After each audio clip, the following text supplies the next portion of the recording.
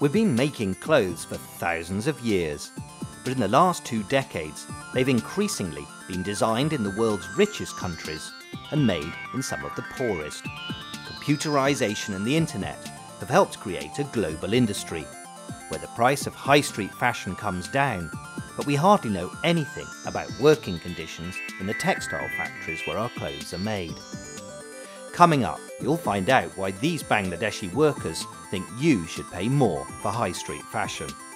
You'll see how consumer pressure has improved working conditions in some factories, and you'll hear why more and more people think buying fair trade products is an alternative way to make your fashion ethical.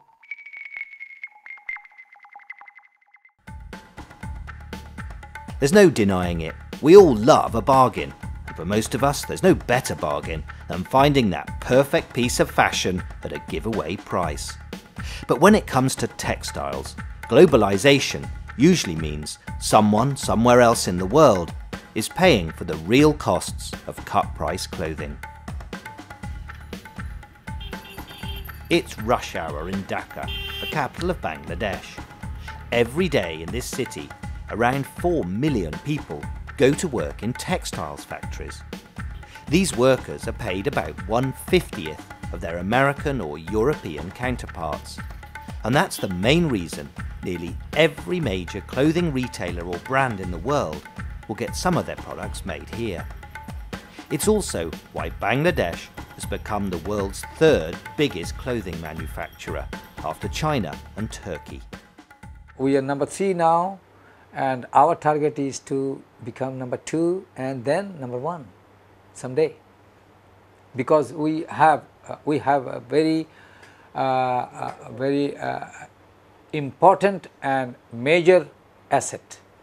That is the manpower. Low cost manpower. But with pressure from retailers to keep prices down factory owners say meeting compliance standards is pushing them to the brink and for once, unions and factory owners agree about what needs to change. The multinational company, they are the main player of this business.